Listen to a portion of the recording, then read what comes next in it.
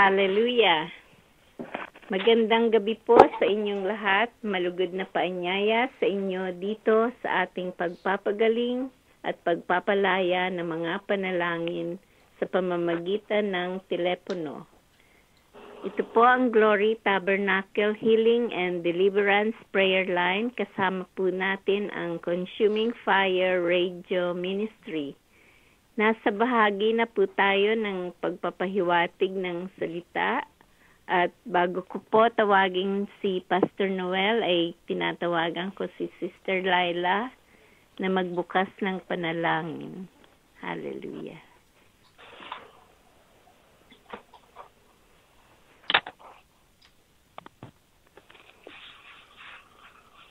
Sister Lai. Hallelujah.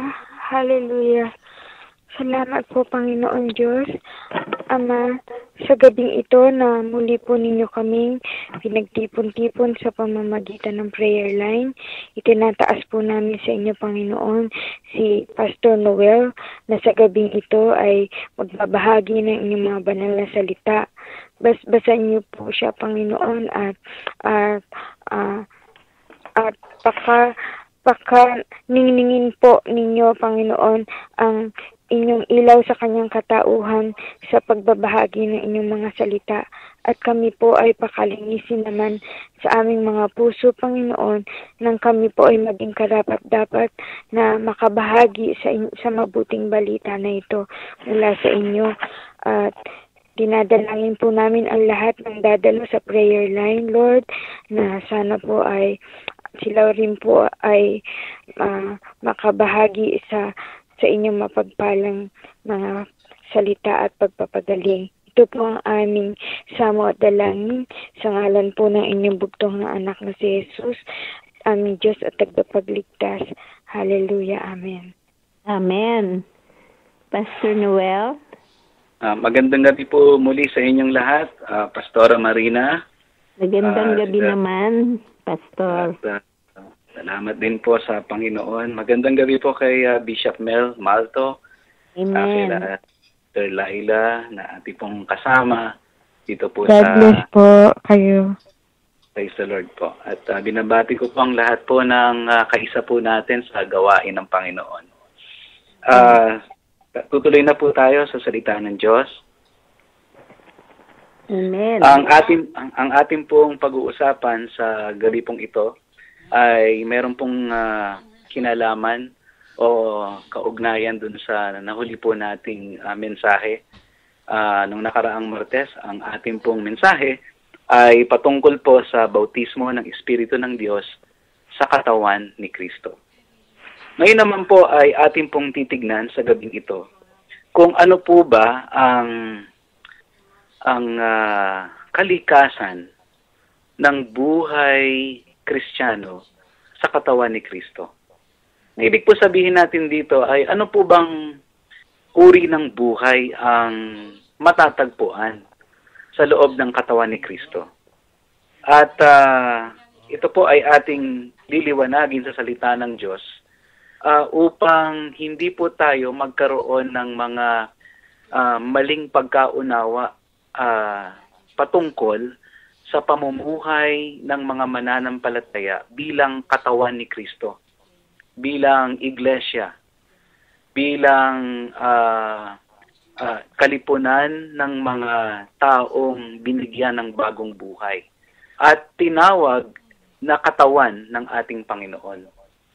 Dahil kung hindi po natin maintindihan ang uh, ang pinaka-naturalesa ng buhay sa katawan ni Kristo, ay dito po tiyak magmumula ang iba't ibang uri ng suliranin na hindi naman po talaga dapat uh, nangyayari o nagaganap sa katawan ni Kristo. At uh, sa ating pong uh, malinaw na pag-uunawa sa uh, naturalesa ng buhay sa katawan ni Kristo, ay magkakaroon po ng uh, linaw at ng magandang direksyon ang ating mga panalangin na ginagawa para po sa ikagaganda at ikaayos ng uh, katawan ni Kristo kasama na po rito ang uh, mga gawain ng ating Panginoon. At uh, kaya nga po ito po ang ating pag-uusapan sa gabing ito. Ang uh, pinaka-esensya ng buhay sa katawan ni Kristo. Uh, kung kayo po ay meron pong mga Biblia, ay nais po nating uh, basahin ang salita ng Diyos na mula po rito sa aklat ng mga gawa sa ikalawang kabanata sa mga talatang 42 hanggang 47. Ito po ang sinasabi ng salita ng Diyos. At sila'y nagsipanatiling matibay sa turo ng mga apostol at sa pagsasama-sama, sa pagpuputol-putol ng tinapay, at sa pananalangin. At ang takot ay dumating sa bawat kaluluwa at ginawa ang maraming kababalaghan at tanda sa pamamagitan ng mga apostol. At ang lahat ng mga nagsisampalataya ay nangagkakatipon at lahat nilang pag-aari ay sa kalahatan at ipinagbili nila ang kanilang mga pag-aari at kayamanan at ipinamahagi sa lahat ayon sa pangangailangan ng bawat isa. At araw-araw sila'y nagsisipanatiling matibay sa pagkakaisa sa templo at sa pagpuputol-putol ng tinapay sa bahay-bahay. At nagsisikain sila ng kanilang pagkain na may galak at may katapatan ng puso, na nangagpupuri sa Diyos at nangagtatamo ng paglingap ng buong bayan at idinaragdag sa kanila ng Panginoon araw-araw yaong nangaliligtas. Ang ating pong uh, binasang uh, mga talata ay uh, nagpapakita po ito ng uh, buhay uh, ng uh, uh, ng una pong uh, iglesia na itinatag ng ating Panginoon. Ito po yung uh, uh, kung saan ang mga apostol ay kabilang dito at ang mga mananampalataya ng ating Panginoon na tunay na nangagbigay ng kanilang mga buhay sa Diyos, mga taong uh, binago ng ating Panginoon. Uh, ang uh, ang unang bagay na atin pong makikita uh, dito po sa uh, mga talatang ito ay ang uh, unang esensya o ang un- ang unang uri ng buhay ng na atin po makikita sa katawan ni Kristo ay walang iba kung hindi ang espiritual na buhay. Ang buhay sa katawan ni Kristo ay isang spiritual na buhay. Ito po ang ating unang bagay na dapat bigyan ng diin. Ang buhay sa katawan ni Kristo ay spiritual na buhay. Ang lahat po ng mga pangyayari na binanggit po sa gawa ikalawang kabanata talatang 42 hanggang 47 ay mga ekspresyon po ng spiritual na buhay Uh, bagamat may binabanggit po diyang mga nakikitang gawain katulad ng um, uh, uh, pagsasama-sama, pagpuputol-putol ng tinapay, pananalangin, paggawa po ng mga kababalaghan at tanda, yung pagtitipon-tipon, ano po, ang lahat pong ito ay mga ekspresyon o kapahayagan ng uh, malalim na uri ng buhay, mga kapatid. At yung malalim na uri ng buhay na ito ay uh, tinatawag nating spiritual na buhay. Ito nga po ang uh, katuparan ng sinabi ng ating Panginoon sa aklat po ni Ezekiel 36 na kabanata. Nang sinabi po ng ating Panginoon sa kanyang bayan ay bibigyan daw po ng Diyos ang kanyang bayan ng bagong puso, ng bagong espiritu at ng banal na espiritu. Kaya nga po, ang mga mananampalataya ng ating Panginoon ay hindi na po mga nabibilang bilang mga natural na tao. Ibig sabihin, hindi na sila kagaya ng dati pa. Kaya nga po ang sinabi ng ating Panginoong Yesus sa kanya mga alagad ay bagamat sila ay nandirito pa sa sanlibutan, ay hindi na po sila nabibilang sa sanlibutan, mga kapatid. Kaya ang buhay na ipinapakita sa loob ng katawan ni Kristo ay espiritual na buhay. Upang ito po ay ating lalong maliwanagan, ang espiritual na buhay po, mga kapatid, ay kasalungat ng pamumuhay sa laman. Ito po ay kasalungat ng pamumuhay uh, ng isang taong taga-sanlibutan. At ito po ay kasalungat ng pamumuhay sa sariling makasalanan mga kapatid. Ulitin ko po, ang pamumuhay espiritual ay kasalungat po ng pamumuhay sa laman. Ito po ay kasalungat din ng pamumuhay ng katulad ng tao sa sanlibutan. At ito po ay kasalungat ng pamumuhay ng makasalanang sarili o ng sariling makasalanan, mga kapatid. Kaya ito po ay pamumuhay ng bagong pagkatao. Kaya nga po ang ang buhay sa loob ng katawan ni Kristo ay kinakailangang espiritual na buhay. At dahil ito naman po yung pinaka uri ng buhay na pinadadaloy ng Diyos sa loob ng katawan ni Kristo. Hindi dapat tayo nagpapahintulot ng anumang mga gawaing makalaman sa loob ng iglesia. Hindi po kailanman gagamitin ng Panginoon ang anumang sistema ng sanlibutan sa loob ng iglesia. Hindi po kailanman uh, sinasang-ayunan ng ating Panginoon kung ang ating paiiraling prinsipyo sa loob ng iglesia sa kanyang katawan ay prinsipyo ng makasa, makasalanang sarili ng tao, mga kapatid. Kaya nga po, ang sabi po ng aklat po ng Efeso, mga kapatid, ay huwag nating pahintulutan na makapasok ang Diablo sa katawan niya, mga kapatid. At uh, malinaw po na sinabi ni uh, Apostol Pablo sa Efeso ika-apat na kabanata, dito po sa ikalabing pitong talata, ang sabi po niya, ito nga ang sinabi ko, at sa Panginoon, na kayo'y hindi na nagsisilakad pa ng lakad ng manil sa pagpapalalo kanil isip ni Apostol ang uri ng buhay at akad ng katawan ni ng mga siya. Sapagkat siya ay sumusulat sa mga manampalataya bilang sama-samang mga miyembro ng katawan ni Kristo. At ang sabi niya, na sila raw ay hindi na nagsisilakad ng gaya naman ng lakad ng mga hintil.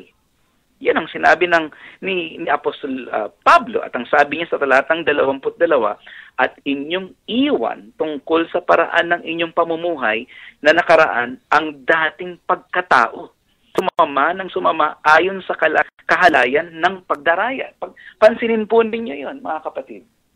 Hindi natin dapat pahintulutan na makapasok sa uh, sa iglesia ng ating Panginoon ang uri ng buhay na ipinapamuhay ng tagasanlibutan. Mga kapatid, ito ay hindi natin dapat pahintulutan. Kaya nga, ang ating pong Panginoon ay nakasentro doon sa uri ng buhay. Kapatid, eh. Hindi po muna natin dapat isentro ang ating mga uh, ang ating mga at- atensyon sa mga iba't ibang aktibidades na dapat gawin sa loob ng iglesia. Meron po aktibidades na dapat gawin. Ngunit hindi po yun ang unang-una na dapat nating pagtuunan ng pansin. Ang unang dapat bigyan ng atensyon dito ay yung uri ng buhay na ipinamumuhay, na dumadaloy sa iglesia ng Panginoon. Ito po ba'y espiritual, mga kapatid? Tayo po ba ay tunay na gusto nating uh, gumawa, maglingkod at uh, gumawa ng maraming mabuting gawain sa atin pong para sa ating Panginoong Hesus, mga kapatid. Subalit hindi muna natin sinusuri kung ang uri ng buhay meron tayo sa ating luwa. Mga kapatid, napakadelikado po nito kung magkakagayon. Dahil hindi naman sa mga gawain unang nakatingin ang ating Panginoon. Tinitignan niya yung uh, ano ba ang kumikilos na espiritu doon? Ano bang kumikilos na uri ng buhay sa katawan ni Kristo? Kaya nga naggalit ang ating Panginoon nung uh, nung kanyang ma, uh, ma, makita na ang templo ng kanyang ama ay tunay na ginawang uh, uh, yungib ng mga magnanakaw. Yan ang sinabi niya. Sa uh, Juan, ikalawang kabanata, nakita niya na bagamat napakaraming mga gawaing para sa Diyos, bagamat uh, nais mag-alay ng iba't ibang uri ng pag-aalay ang mga tao, ay uh, naggalit ang ating Panginoon. Itinumba niya yung uh, uh, pa, la, lamesa ng palitan ng ng mga ng mga salapi. Kanyang itinaboy yung mga nagbebenta ng mga hayop mga kapatid. Bakit? Samantalang uh, gawain yon ng pag-aalay sa templo ng Panginoon. Bakit niya bakit siya napuot sa ganong gawain bakit sapagkat hindi buhay espiritual ang dumadaloy doon. Sapagkat hindi uh, pagsamba sa espiritu at katotohanan ang nagaganap doon. Sapagkat hindi ang Diyos ang tunay na pinaka pinagtutuunang uh, totoo ng kanilang pagsamba. Ang na ang ang uh, ang namamayani ang naghahari na buhay doon ay buhay uh, ng sarili, pakalamang buhay, at sanlibotang prinsipyo sapagkat ito ay natuon sa matatanggap ng tao, mga kapatid. Sistema ng, ng tao ang uh, nandoon. At uh, bago pa mamatay ang ating Panginoon Yesus, ialay ang kanyang buhay sa krus ng Kalbaryo, hindi po ba muli niya nilinis ang templo? ng kanyang ama. Kaya nga po, dito sa iglesia ng ating Panginoon na kung saan tayo kabahagi at napakaraming mga mananampalataya nakabahagi na, uh, ng, ng iglesia o ng isang lokal iglesia, siyasatin po natin bago tayo maglilingkod sa Diyos. Tama po, tayo maglingkod sa Diyos bago tayo maglilingkod sa Kanya, ay tignan muna natin kung anong uri ng buhay ang ating pinapadaloy. Dinadala po ba natin ang uh, ang prinsipyo ng sanlibutan sa katawan ni Kristo? Dinadala po ba natin ang kamunduhan sa ka, sa katawan ni Kristo? Dinadala po ba natin ang ating mga sariling kalooban sa katawan ni Kristo, mga kapatid? Itigil po dapat ang ganitong ng buhay. Kung tayo po ay nakatuon sa ating pakikipagrelasyon kay Kristo, sa isa sa ating pong espiritual na pakikipag-ugnayan sa Kanya, kapatid, ay otomatiko na magkakaroon po ng kabanalan sa katawan ni Kristo, magkakaroon ng kalinisan sa katawan ni Kristo, magkakaroon ng praktikal na katuwiran sa katawan ni Kristo, mga kapatid. Magkakaroon ng uh, kadalisayan sa katawan ni Kristo, mga kapatid. Sapagkat tayo po ay tumuon dito sa uh, espiritual na pakikipag-ugnayan sa ating Panginoon. Kaya Pansinin po ninyo sa aklat ng mga gawa, ikalawang kabanata, 42 hanggang 47, napakalinis ng gawain ng Diyos. Walang halo. Hindi nahaluan ng sanlibutan. Hindi nahaluan ng sarili. Hindi po nahaluan ng gawain ng laman. Sumasa kanila ang Diyos. Mayaman ang presensya ng Diyos sa kanilang kalagitnaan may nagkaroon ng takot sa puso ang mga tao dahil sa presensya ng ating Panginoon. Ang mga apostol ay gumagawa ng mga kababalaghan, sila po ay nagpapagaling. Bakit? Dahil nasa kanilang kagitnaan ang presensya ng Diyos. Mga kapatid, dahil hindi nakaluan ng ibang uri ng buhay ang ni Kristo. Ito po ba ang ating iniiyak sa Panginoon sa tuwing tayo mananalangin? Na Panginoon, nawa ang, ang mga salita ng aking bibig, ang kaisipan ng aking puso ay maging kalugod-lugod sa iyong harapan. Panginoon, na uh, siyasatin mo ang aking puso. Panginoon, ako po ay iyo pong patnubayan sa, sa iyong mga kaparaanan. Buksan mo po ang mga mata ng aking puso, Panginoon, at tunay na ihayag mo ang liwanag ng iyong salita. Hindi po ba ito ang naging unang iyak ng ating puso nung tayo po ay bagong-bago na nakakilala sa ating Panginoon? Bagong-bago na tayo po ay nagkaroon ng buhay na relasyon kay Kristo. Hindi po ba kay Jesus na siya ang nagmamay-ari ng ating buong puso? ng ating buong isip. Naaalala po ba natin ito, mga kapatid? Hindi po ba napakalinis, napakadalisay ng gawain ng Panginoon? Nawa, bumalik po tayo doon. Huwag po nating pahintulutang makadaloy ang kaaway sa ating kalagitnaan. Huwag nating pahintulutan ang kasalanan. Huwag nating pahintulutan ang kahalayan. Huwag po nating pahintulutan ang dating luma o ang dating pagkatao na siya ang uh, gagawa sa kalagitnaan ng gawain ng Panginoon. Kapatid, espiritual ang buhay na dapat magkaroon ang iglesia ng Panginoon. Ikalawa, mga kapatid, ang iglesia ng ating Panginoon ay bukod pa sa uh, sila ay uh, ito ay merong spiritual na buhay. Ang buhay sa loob ng iglesia ng Panginoon ay buhay na mayroong pagkakaisa. Hindi lang ito buhay na spiritual, kundi ito'y buhay na nagtataglay ng pagkakaisa. Kaya kung bababasa po ninyo ang aklat ng gawa, ikalawang kabanata, 42 hanggang 47, mga kapatid, ay nagkakaisa sila mayroon silang pagkakaisa. Una, sa Panginoon. Ikalawa, sa bawat isa. Mga kapatid.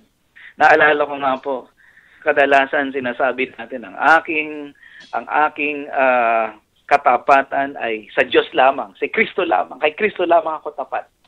Pero kapatid, uh, ang katapatan sa ating Panginoong Hesus ay pinatutunayan ng iyong pagpapasakop doon sa mga naitalagang otoridad sa Iglesia ng Panginoon. Sinasabi nga natin tayo ay tapat kay Kristo, pero hindi natin kinikilala yung pamamahala o yung pamahalaan na nilagay ng, ng Espiritu ng Diyos sa kanyang katawan. Eh, hindi tayo uh, sumasang-ayon at hindi natin kinikilala ang paraan ng Diyos na naisulat sa kanyang salita. Sapagkat ang salita ng Diyos, sinasabi rito, mga kapatid, na tayo ay dapat sumunod, magpasailalim doon sa mga uh, itinalaga ng ating Panginoon sa kanyang katawan. Tayo ay dapat may pakikiisa kay Kristo at merong pakikiisa sa katawan ni Kristo, mga kapatid. Ang uh, sabi po dito sa Hebreyo, ikalabing tatlong kabanata sa talatang uh, labing pito, magsitalima kayo sa namiminuno sa inyo. Ibig sabihin, magsisunod. Obey your leader, submit to them. Magsisunod kayo, magsitalima kayo sa namiminuno sa inyo at kayo'y pasakop sa kanila sapagkat pawang na nagpupuyat dahil sa inyong mga kaluluwa. Ira pong sinabi na aklat po ng Hebreo, uh, kabanatang 13, talatang 17, mga kapatid. Na uh, katulad po ng aklat ng mga gawa sa ikalawang kabanata, talatang 42, ang sabi po ng salita ng Diyos, sila ay nagsipanatiling matibay sa turo ng mga apostol. Yun po ang inuna, mga kapatid. Uh, hindi lang, hindi naman po, pwede namang sabi sa turo ng Diyos. Pero ang sabi po ng salita ng Diyos, sa turo ng mga apostol, dahil ang ating Panginoon, siya po ay naghalal ng kanyang mga apostol uh, doon po niya ipinadaan ang kanyang mga turo. Nung ang ating Panginoong Kristo ay umakyat na sa langit. At siya nga po yung ating kinikilalang ulo ng, ng iglesia. Ngunit nung siya po ay umakyat na sa langit, ay kanya pong inatasan ang kanyang mga apostol upang sila po ang maminuno sa kanyang iglesia. At ang pakikiisa sa ating Panginoon ay hindi na ay hindi ay uh, ay ang ang ibig po sabihin ng kapag tayo nakikiisa sa Panginoon, nakikiisa tayo sa kanyang kaparaanan. Kaya sa loob ng iglesia ng ating Panginoon, sa katawan ng Panginoon, sa lokal iglesia, magpasakop tayo dun sa mga uh, pinuno na itinalaga ng ating Panginoon. Dahil kung hindi natin ito gagawin, kapatid, tayo po ang magiging sanhi ng pagkakahati-hati ng iglesia, mga kapatid. At uh, yung pag-aaklas, ito po ay naganap muna sa sangkalangitan, mga kapatid. Si Lucifer ang unang nag-aklas laban sa Diyos na hindi na napili sa kalooban ng Panginoon. Kaya kung tayo po ay nananalangin na nais nating maglingkod sa Diyos, nananalangin tayo na gamitin tayo ng Panginoon ng, ng, ng napakaluwalhati sa konteksto ng kanyang iglesia, aba ay dapat sumunod po tayo sa mga pinuno na tinalaga ng Panginoon. At hindi tayo magsarili, hindi tayo magsulo, huwag tayong magkaroon sa ating agenda. Ito muna yung dapat nating idulog sa Panginoon sa ating panalangin. Huwag muna nating ipanalangin yung mga gusto nating gawin kinakailangan idulog muna natin sa Panginoon yung ating puso. Ipasiyasat natin sa Panginoon ang ating puso, mga kapatid. Ang ibig po sabihin ng uh, obey, mga kapatid, ay obey. Ibig sabihin, sumunod tayo. Wala naman pong mahirap unawain doon. Yung uh, salitang insubordinate, yung pong salitang rebelde o yung hindi nagpapasakop, marami po ang ibig sabihin nun. Una, hindi po siya masunurin. Siya po ay hindi po mapagsabihan. Siya ay uh, nagiging sanhi ng kaguluhan. Siya po ay isang troublemaker sa loob ng lokal iglesia. Halip na pag, pagmula ng kaayusan, pinagmumulan siya ng kalituhan. Siya po ay uh, ano uh, rebelde siya ay hindi sumusunod. Napakahirap pasunurin. May sariling isip. Ayaw niyang uh, makipagkooperasyon. Ayaw. Gusto niya siya ang nagsusulo. Siya po ay isang nilalang na napakalakas ng kanyang kalooban. Gumagawa siya sa kanyang sariling kalooban. Hindi mo siya mapagsabihan. Hindi mo siya ma-manage. At mm, hindi po siya nagpapasakop. Yun po ang kabaliktaran nung uh, uh, submissive o yung nagpapa sa ilalim, mga kapatid. At dalangin po natin ang ang mga ito ay hindi po mangyari sa ating mga sarili o sa, sa katawan ng ating Panginoon habang tayo po sama-sama naglilingkod sa Kanya, mga kapatid. Dahil kahit na anong ganda ng ating pong mga gagawin para sa Diyos, pero kung yung mga manggagawa naman ng ating Panginoon ay hindi marunong magpasakop sa otoridad ng ating Panginoon, kapatid, ay uh, hindi po magiging pagpapala ang ating paglilingkod. Kaya nga, uh, wag nating bigyang daan, wag nating papasukin ang anumang gawain na naghahati sa katawan ni Kristo. Dahil ang gawain ng Panginoon ay ang pagkakaisa ng kanyang katawan, mga kapatid. Kaya nga po, ito ang panalangin ng Panginoon sa Juan, ikalabimpitong kabanata. Ang sabi niya na Ama, na, na sila ay magkaisa na katulad din naman tayo ay nagkakaisa. Yan ang panalangin ng Panginoon. Ngayon, kung gumagawa tayo ng hindi pagkakaisa, eh di nilalabanan natin ang kalooban ng Diyos. Kung nag, uh, nag, uh, nagsasabog tayo ng lagim sa katawan ni Kristo, imbis na ang ebanghelyo ang ating pong ipangaral, ebanghelyo ang ating pong ipagsabi ay chismis at paninirang puri ang uh, ating ni, pinapalaganap sa katawan ni Kristo ay tayo po ay magsisit, mahiya tayo sa ating Panginoon. Ano? Ito po ang dapat nating bigyan ng, ng pansin. Tayo po ay tinawag na mga kamanggagawa ni Kristo. Di po, di po ba't sabi niya, I will build my church? Kaya ganun din ang dapat na tawag sa atin. Builder, tagapagtayo. Kaya kaya nga po dapat bantayan natin ang ating bibig, bantayan natin ang ating dila. Bantayan natin ito na kapag atin pong gagamitin ito, ang sabi po ng salita ng Diyos, ito ay magdulot ng biyaya. Ito ay magdulot ng kalakasan ng loob. Ito ay magdulot ng katotohanan, magsalita ng katotohanan binabanggit o sinasabi sa pamamagitan ng pag-ibig. Yan, kapatid. Ano? Kaya ang unang matatagpuan nating uri ng uh, buhay sa katawan ni Kristo, ito ay buhay espiritual, hindi buhay makamundo. Kaya wag po nating papasukin ito pong mga uh, ginagawa ng mga tagamundo at gagawin din natin sa loob ng iglesia. Ay nako, mga kapatid. At pangalawa, kung ang mundo, ang paraan ng mundo ay mahilig sa pag-aaway-away, mahilig sa pagkakawatak-watak, mga kapatid, ay wag na po nating itulad ang katawan ni Kristo doon. Mga kapatid, sapagkat tayo ay tinawag ng Diyos sa kabanalan at tinawag ng ating Panginoon sa kapayapaan sa bawat isa. Ano? Ikatlo, at ito na po ang pinakahuli, mga kapatid, at uh, tayo po ay wala na uh, oras, ay ito po yung panghuli. Ano po? Uh, sa loob ng katawan ni Kristo, ang ang katawan ni Kristo ay ay mayroon pong buhay na gumagawa. Ayan. Ano po? Buhay na gumagawa. Uh, uh, uh, dito po sa aklat ng mga gawa, tingnan mo, ano? aklat ng mga gawa, ano? Acts, gawa. Ito po yung buhay na gumagawa, mga kapatid. Eh, kung tayo binigyang buhay at hindi hindi rin lang ang buhay na to ay hindi rin lang kikilos at gagawa, eh, para saan pa ang buhay na to? Ano? Kaya dito sa gawa ikalawang kabanata, makikita natin aktibo ang mga miyembro ng katawan ni Kristo. Aktibo sila. Mga kapatid. Oh, hindi po aktivista, no? Kundi aktibo, mga kapatid. Aktibo, ang ibig sabihin, eh, hindi na sila inuutusan pa para gumawa hindi na sila dapat pilitin pa para sila ay maglingkod sa Diyos. Kusa sila, sila umaapoy sa paglilingkod sa Panginoon. Kusa silang nagsisipanatiling matibay sa turo ng mga apostol. Kusa silang nagsasama-sama. Kusa silang nagpuputol-putol ng tinapay. Kusa silang nananalangin.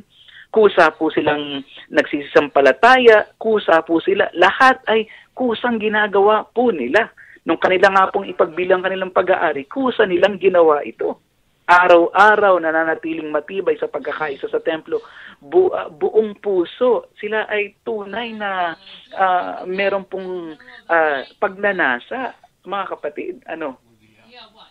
Kaya nga po ito yung isang bagay na dapat na hindi na dapat pinoproblema sa katawan ni Kristo dahil ang natura ang ang pinaka ang ang pinaka naturalesa sa sa katawan ni Kristo, ito'y kusa automatic na naglilingkod sa Diyos, kapatid. Kaya kung nakikita po natin ang ating sarili, tayo'y laging pinipilit, laging hinihimok, kung hindi tayo tatawagan, wala tayo, kung hindi tayo pina-follow up, hindi gagawa, tayo po'y mapaghanap, laging nagtatampo, napakasensitibo ng ating gawain, ng ating mga damdamin. Kunting salita, tayo po'y namamaluktot at ayaw na po nating umattend. Kapatid, ibig sabihin yan, ang iyong pinagtutuunan ay ang tao at hindi si Kristo. Yan nga po ang ating Panginoong Jesus, iniwan na po siya ng kanyang mga alagad, so balit siya ay nagpatuloy pa rin sa kanyang misyon dito sa sanglibutan. Hindi po siya umatras sa krus, mga kapatid. Kaya tingnan po natin ang ating mga sarili. Tayo po ba ay aktibong gumagawa sa katawan ni Kristo? Dahil kung tayo po'y binigyang buhay, aba, eh dapat eh buhay tayo. Ano? Hindi po tayo tatamad-tamad. Hindi hindi tayo eh, 'di ba ang sabi ng salita ng Diyos, God loves a cheerful giver. Ang ang ating Panginoon, mahal niya yung nagbibigay ng mikagalakan. So so imposible namang nagagala ka tapos tinatamad ka. Nagagala ka tapos wala kang buhay. Hindi po pwedeng mangyari 'yon. Ang isang mananampalatayang binigyang buhay ng Diyos ay nagagalak sa ating Panginoon. Nagagalak siya. Nagagalak naglilingkod. Baka naman, kapatid, dapat natin ituwid ang ating pong, ano bang obserbasyon natin sa ating paglilingkod sa Diyos? Naglilingkod po ba tayo? Pero sa kabila, no, nagre-reklamo tayo, nagmumukmuk, ang dami po nating mga, ano, reklamasyon, ano, ang tawag natin, ang dami po nating mga hinaing sa buhay, ang dami po nating nakikita, ano, bakit siya ganun? Ako, gan- bakit siya binigyan ng ganito? Ako hindi naman ako binigyan. Bakit siya may ganung pabor? Tayo po ba nagkukumparahan sa bawat isa? O, o masaya na tayo sa ating paglilingkod? Makatanggap man tayo ng biyaya o wala? Eh, masaya pa rin tayo. Kapatid, ano? So, ito muna ang dapat nating dalhin sa panalangin sa ating Panginoon. Ano, mga kapatid? Yung kalagayan ng ating mga puso. Dapat bang meron tayong dapat ituwid sa ating paglilingkod bilang mga miyembro ng katawan ni Kristo? Dapat bang uh, tignan muna natin ang attitude ng ating mga puso, mga kapatid? Uh, sa palagay ko, dapat. Ano? Dapat. Dahil sa halip na tayo ang pagmula ng gulo, sa halip na tayo ang pagmulan ng uh, panghihinang loob ng iba, mga kapatid, dapat tayo ay maging asin at ilaw. Tayo ay maging pagpapala sa loob ng katawan ni Kristo. Pinagmumula ng buhay, ministers of life, ang tawag sa atin. Mga ministro ng buhay. Kaya nga, at tinawag tayong mga sanga. Dahil doon dumadaloy ang buhay. Di ba kapatid? Dahil si Kristo ang pinakapuno. Siya yung pinaka, pinagmumula ng buhay. Tayo naman yung mga sanga na dinadaluyan ng buhay na mula sa Kanya. Kaya nga namumunga tayo. Ano? Mga kapatid. So, ito po yung simpleng mensahe ng ating Panginoon sa bawat isa. Mga kapatid, tayo po ba spiritual? Tayo po ba ay uh, uh, pinagmumula ng pagkakaisa, instrumento ng pagkakaisa? Tayo po ba ay uh, mga aktibong miyembro ng katawan ni Kristo? Kapatid, panalangin natin ito ay ganap na mangyari sa atin at mangyayari lamang po ito kung tayo ay patuloy na mananatili kay Kristo. Maraming salamat po mga kapatid at muli mag uh, sama-sama po tayo sa susunod na Martes sa patuloy po nating pakikinig ng mensahe ng ating Panginoon. Magandang gabi po sa inyong lahat. Pagpalain kayo ng ating Diyos na buhay. Salamat, Pastor Noel. Ah, Napakagandang uh, turo na naman ang ating narinig. Nawa ay kung nagno-note kayo o o kung ibig niyong marinig uli ang kanyang message ay nasa website tayo Glory Tabernacle Prayer Meeting dot blood bloodspot dot dot com. Hallelujah. Salamat na muli Pastor Noel. Yeah. Um, maraming pong salamat. Uh, Pastora Marina, uh, pa-request ko po, Pastora Marina, patuloy pong pakisama sa panalangin si Pastor Lito uh, yeah. Vergara ng uh, Zoe Philippines. Ito pong iglesia po natin doon sa Tondo. Uh, patuloy po siyang pagalingin ng Panginoon. Amen. Ay, salamat Thanks, po. Pastor Noel. God bless po. God bless. Nasa bahagi na po tayo ng ating mga prayer requests, praise report, at mga testimonies. Kung sino po ang nasa linya sa gabing ito, uh, nakabukas na ang, ang linya para sa inyong mga praise report, testimonies, and prayer requests. Hallelujah. Claire, do you have any praise report? I just want to thank the Lord for His goodness, His mercy, His grace, His loving kindness. We thank the Lord for this prayer line, the Tagalog prayer line, even the English prayer line, where a lot of people are listening to this broadcast. And we also thank the Lord for the street outreach in Long Island City and Woodside, where we continually minister, pray for, and give out food to the people, and also for the healing room where people are healed completely and delivered. Thank you, Lord, for what you're doing in our church. Thank you that even though we have a small church, Lord God, your presence is with us. And we thank you, Lord, for your goodness in our lives, Lord, your presence in your Holy Spirit. And Lord, we thank you for just being in our lives, Lord God, that, Lord, you're there with us always, Lord. I want to lift up those who need healing. Lola for her arthritis, um, all the prayer requests that need healing tonight, we lift them up to you, Lord. Amen. Amen, amen. Uh, itaas natin si Pastor Lito Vergara, isa siyang minister na, na nasa Tondo. At siya po ay may heart condition, nagkaroon siya ng bypass, um, barado ang mga ugat ng kanyang puso. At uh, dalangin natin na complete recovery siya at uh, restoration of his body. Hallelujah.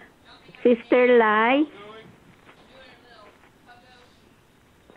Oho, Pastor Marina. Oo, pwedeng ah, mag ano ka yung kumanta ng healing and then pakilip up si Pastor Lito Vergara. Siya ay isang minister sa Tondo. Oo. Heal me, O Lord, and I will be healed. Heal me, and I will be saved.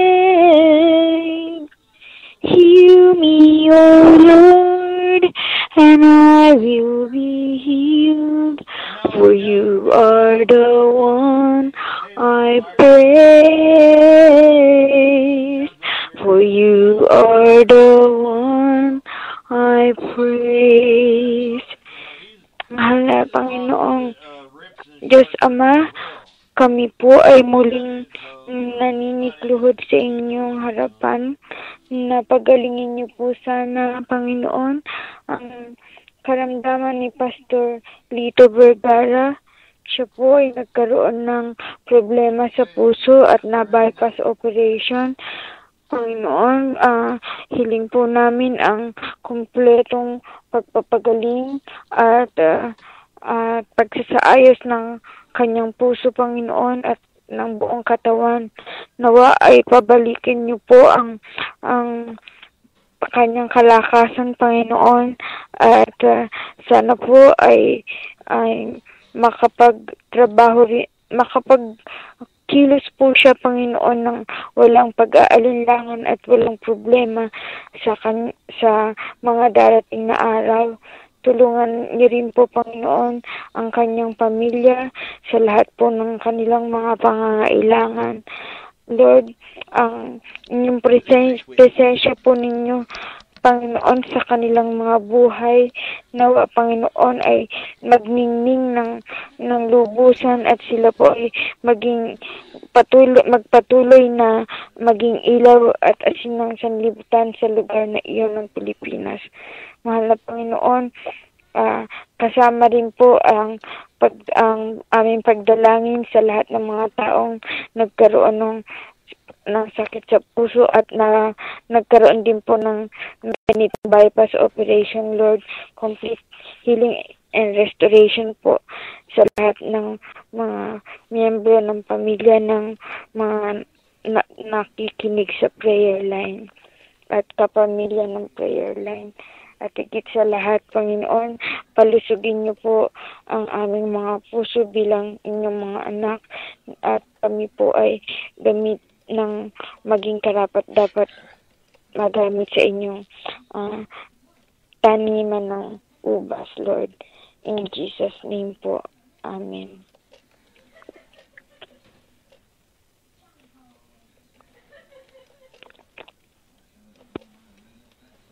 Hallelujah.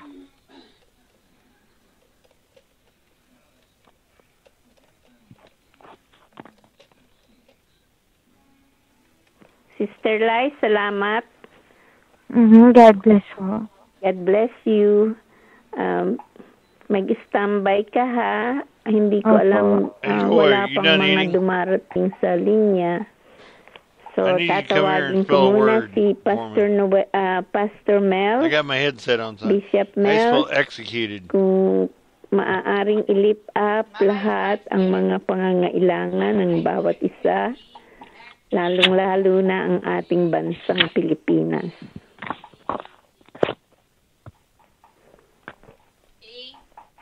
Hallelujah. E- EX. Sa aklat ng Mateo, ikapito at ika ah, labing isang bersikulo, sinabi dito, kung kayo na masasama ay maru- marunong magbigay ng mabubuting bagay sa inyong mga anak, gaano pa kaya ang inyong ama na nasa langit? Ang ating bang mga panalangin ay dinirinig ay naririnig ng ating Panginoon? Ang ating bang mga mungkahi ay nakakarating sa sa langit? Ngayong gabi, maski naiilan lang tayo, isang tao ang magdasal o Nice bro, manalangin kneeling. ay nakakarating sa sa luklukan Yeah. ng ating amang Yeah. at ang ating ama at ang ating ING. Panginoong Hesus. Dahil Yan. tuwing magsisikap ang isang ang isang tao na sabi na, na isang tagabansang kanluran o China ang mga bagay tungkol sa mga templo I at pagsimba. renouncing. Kaagad natatagpuan niya ang sariling nagsasabing iyon ay nakakalito dahil hindi hindi You're nila alam renouncing. kung ang kanilang mga mungkahi ay nakakarating sa langit. Ito ay nangyayari sa ibang bansa. Mabuti dito sa Amerika ay alam nat alam natin na kung tayo ay Kristiyano, ang ating mga panalangin ay nakakarating sa ating Ama. Gaya nga sa loob ng templo sa mga ibang bansa o simbahan o sinagoge ay mayroon silang lugar na sinasabi na na sacred sacred sa sa Ingles. Kaya pag nanais ng isang tao na malaman kung ano ang kanyang dapat gawin, ang ginagawa niya ay pumupunta siya sa sa isang uh, sacred place gaya ng ng tent ng noong panahon ni Moses. Ang mga tao ay na, nasa sacred tent o pumapasok sa tent kung sila ay gustong uh, imungkahin nila ang kanilang ang kanilang ang, ang kanilang hangarin sa kanilang buhay. Kaya ngayong gabi, hindi nagtagal ay itinatanong ng marami sa ibang bansa na kung kung ang ang kanilang mga mungkahi o ang kanilang panalangin, pana, panalangin ay nakakarating sa sa Diyos na kinikilala nila.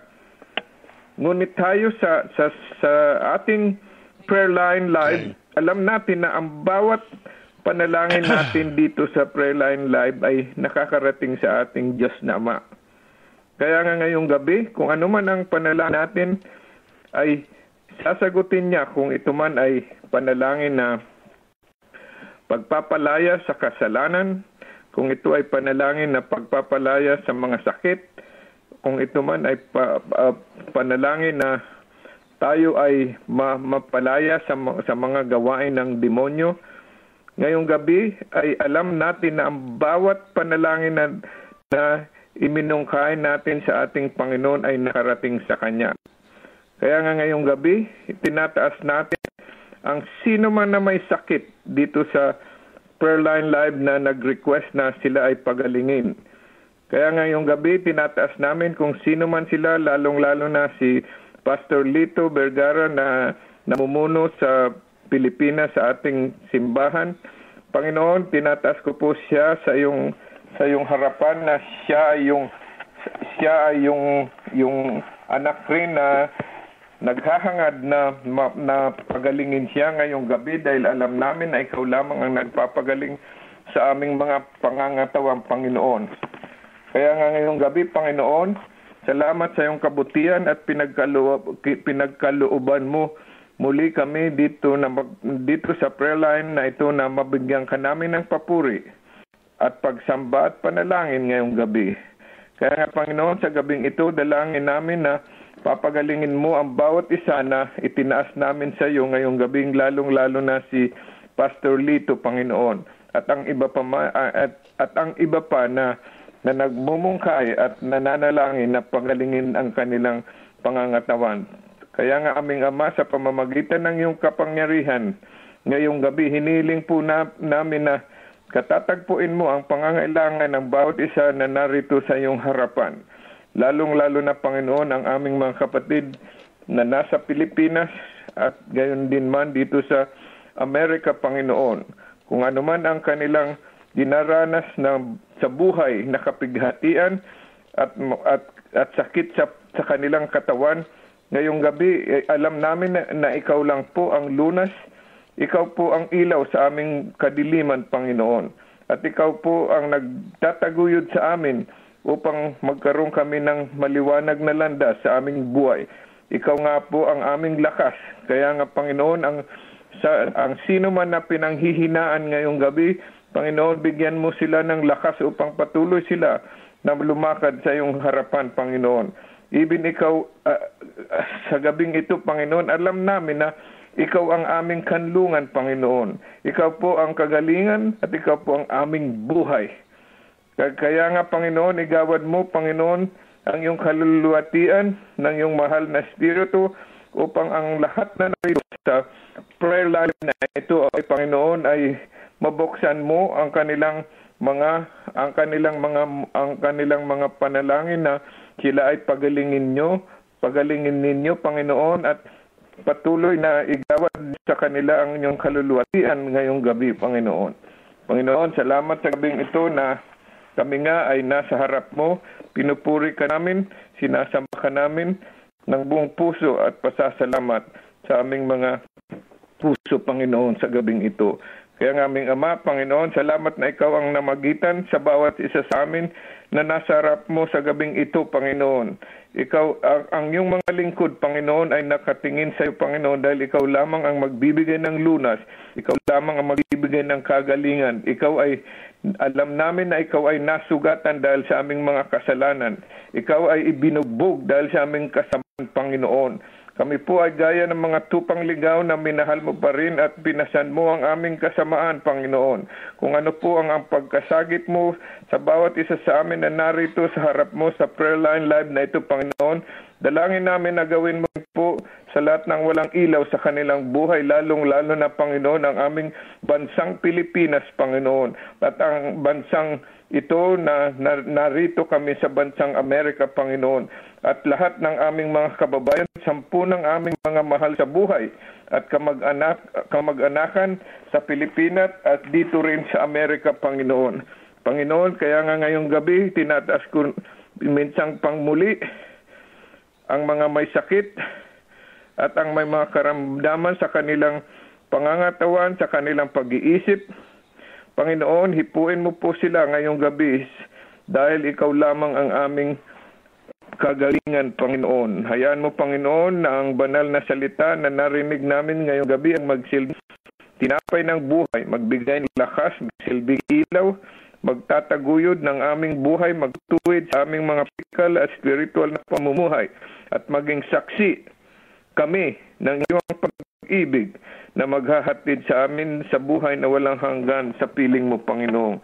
Buong puso at kaluluwa namin binibigay sa iyo ang lahat ng papuri, lahat ng karangalan, lahat ng pagsamba, lahat ng pasasalamat sa gabing ito na iyong itinakda, Panginoon. Sa pangalan ni Jesus, na nagbigay ng kanyang buhay, nag-alay ng, nag-alay ng kanyang dugo at nabuhay na muli sa pamamagitan ng mahal na Espiritu at sa, at sa kapangyarihan ng ating Ama sa langit. Salamat Panginoon sa gabing ito sa pangalan ni Jesus.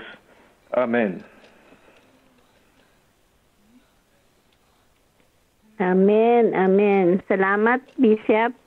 At tinatawagan ko naman si Sister Claire upang itaas ang mga pamilya, mga kabataan at ang mga matatanda na nating mga magulang. Hallelujah. Tayo ay taos puso sa Diyos magpasalamat dahil ibinigay niya si Jesu Kristo.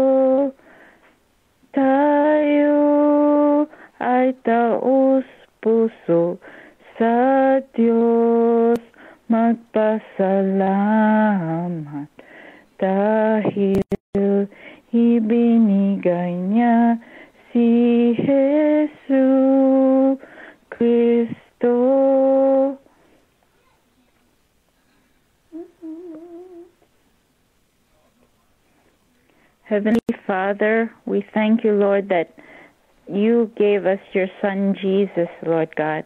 We thank you, Lord God, for your gift to us, Lord, your Son Jesus who died on the cross for us, who shed his precious blood, Lord, and endured suffering and pain for us, Lord, that we might have life, we might have eternal life, Lord God. Lord, tonight we want to lift up every family represented on this prayer line for those who are our prayer intercessors, for those who are our silent listeners. And Lord, we want to lift up the family to you, Lord. We come against the devil's attack on the family. We pray for unity, Lord God, amongst husbands and wives, children and their parents, and everybody who has a relationship, brothers and sisters as well, Lord God that, Lord, you would mend and heal broken relationships, Lord God, that you would bring healing, Lord, restoration, Lord God. We also pray for the elderly, Lord God, that, Lord, thank you for these seniors, Lord, those who are mature in their faith, Lord God, that, Lord, even in their old age, Lord God, you still sustain them and you still use them they are still useful in your kingdom, Lord. Lord, we also pray for the young people, Lord God. Lord, we thank you for these young people who will be the future, Lord God, who will be our future leaders, our future pastors, missionaries, evangelists, even, Lord God, leaders in the secular world, world, Lord God. But, Lord, we pray for salvation for everyone, Lord still far off, Lord God, or who knew you before but lost their first love for you, Lord God.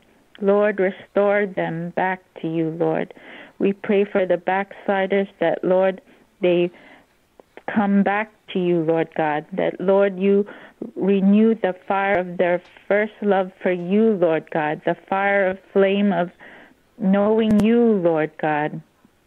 Lord, we also pray, Lord God, that whoever doesn't know you yet as their Lord and Savior, that they may come to know you, Lord God, that you love them and that you have a purpose for their lives, Lord, meaning for their lives, Lord God.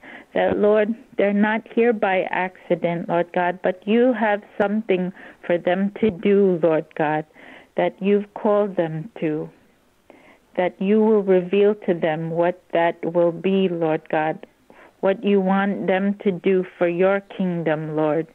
Lord, tonight we thank you, Lord, for everyone listening, and we pray, Lord God, that they may come to know that you love them so much, Lord God. These times are difficult, Lord God, and many people have no hope and are in despair, depression, all a lot of things are going on in their lives and they need help, Lord God. But Lord, you are our refuge, you are our strength, you are our help in time of need, Lord God. And Lord, we come before you on behalf of those who are struggling, Lord God, that Lord, let them not be hopeless, but have hope, Lord God. Let them not be weak, but have your strength, Lord God.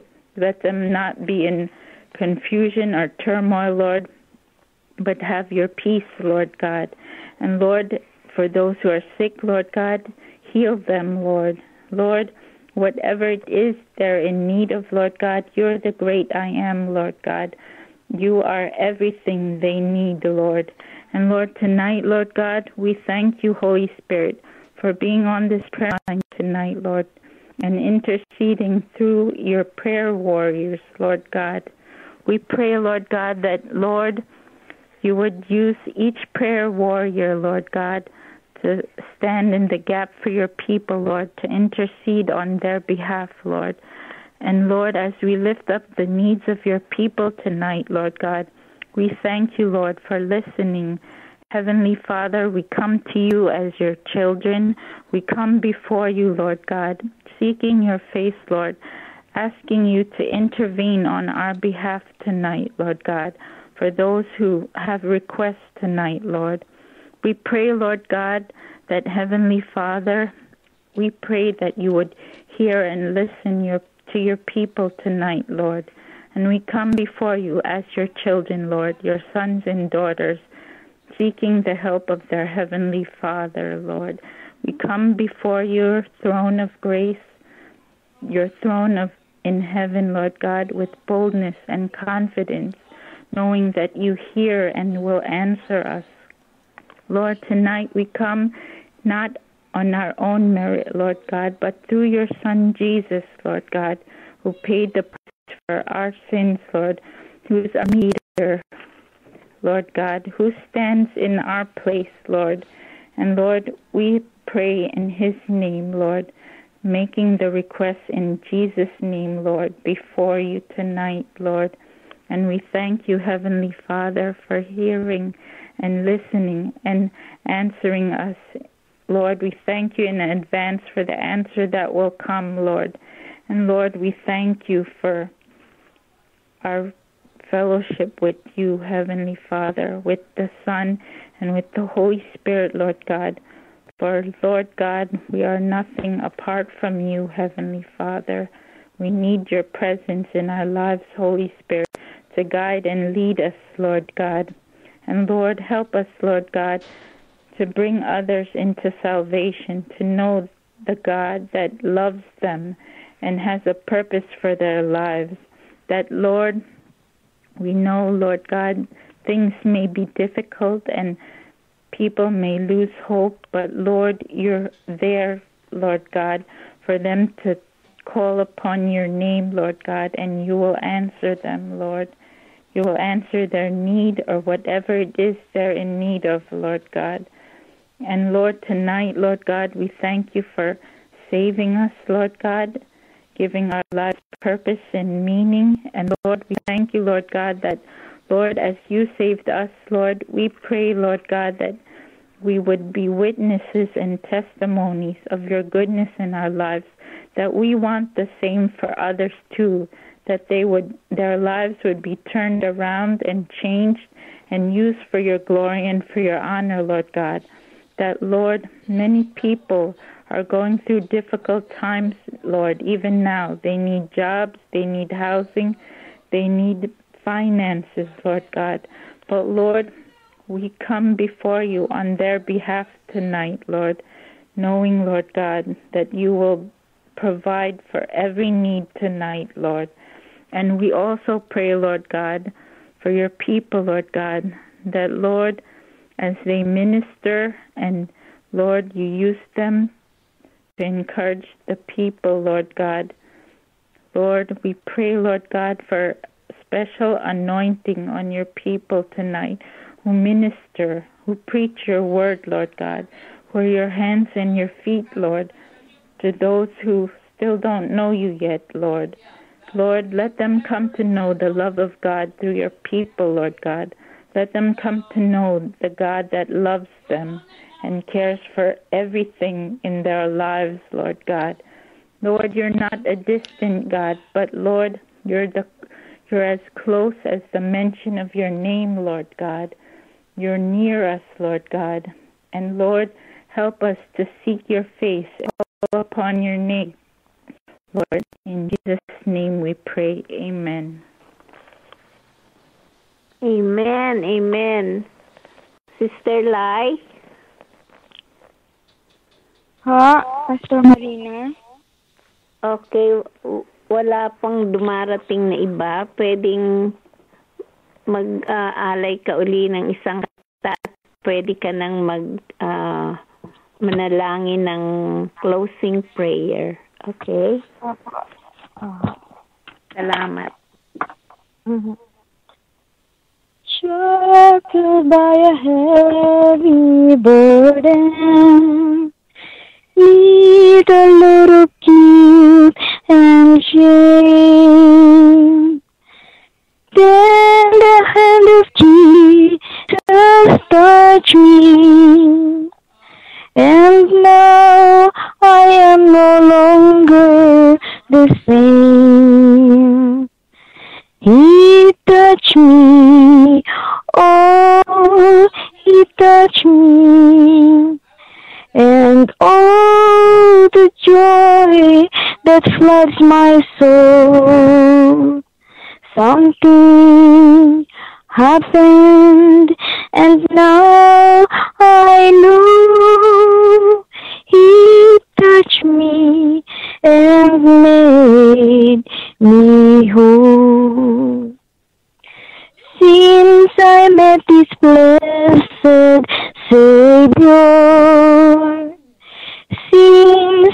and made me whole, I will never cease to praise Him. I'll shout it while eternity rolls. He touched me, oh, he touched me, and oh, the joy that floods my soul.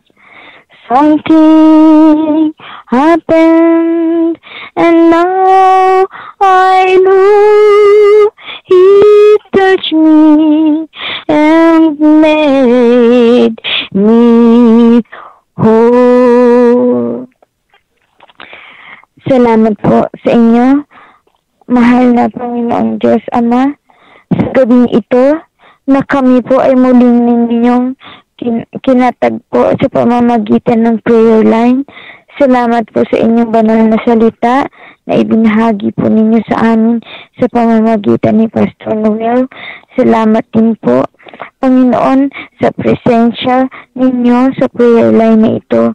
Kami po ay muling na, na namang ah, binasbasan po ninyo ng maraming mga biyaya, kagalingan sa mga nangangailangan po na mga may sakit ng kagalingan at sa lahat po ng dumulog sa prayer line sa gabing ito, Panginoon, ay nagpapasalamat po kami na basbasan po ninyo kaming lahat, Panginoon, na inyong banal na pagpapala at banal na pagpapagaling. Nagpapasalamat po kami sa lahat din po, Panginoon, ng inyong katapatan sa araw-araw na, ng aming buhay, Panginoon.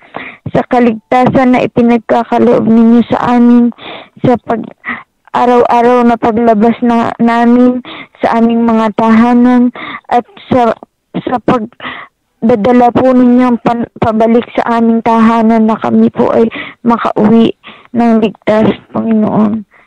Salamat din po sa walang hanggang biyaya at pagpapala na ipinagkakaloob nyo sa lahat ng inyong mga anak ng pagtustos sa aming mga ah, ba, pangailangan ng katawan, pagkain, Panginoon, sh- at bu, bu, bubong sa aming ulunan, Panginoon, bahay na masisilungan. Salamat po sa lahat ng ito. Salamat po sa pag-iingat po ninyo, hindi po hindi lamang sa aming bahay na tinitirhan, kundi doon din po sa mga bahay na nakapaligid sa amin, Pang- Panginoon, sa aming komunidad. Salamat po sa pagpapalang ito. Sa, at sa gabing ito po, Panginoon, ay umaasa po kami sa inyo, Panginoon, na muli ninyo po kaming katatagpuin sa prayer line bukas, Panginoon. Pagkalooban niyo po sana kami ng mapagpalang ah, ma, ma, mapatahimik at ah, ma, maayos na pamahinga sa gabing ito. At sa araw ng bukas, Panginoon, hangad po namin na pagkalooban niyo po kami ng panibagong kalakasan. Ito po ang aming samo at dalangin sa pangalan po ng inyong bugtong na anak na si Jesus, Diyos namin at tagapagligtas. Muli po namin ibinabalik sa inyo ang lahat ng papuri at pasasalamat. Amen. Amen, amen. Salamat, Sister Lai. Ang alam po ng Glory Tabernacle uh, prayer line at ng Consuming Fire Radio Ministry, kami po ay nagpapaalam na sa gabing ito hanggang bukas alas 8.30 hanggang alas 10 ng gabi at tayo po ay magpuri sa ating Panginoon.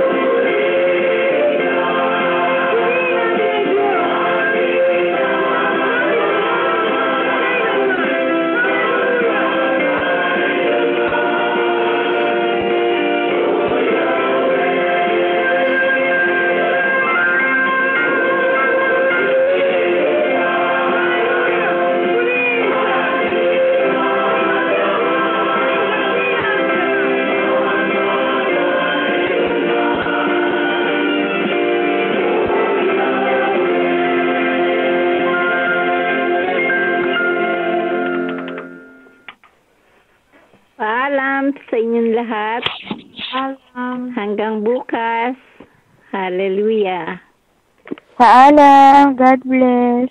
God bless you. Good night. you. God bless Thank everybody. you, dear Lai. Mhm. God bless. Your conference recording has stopped. Goodbye.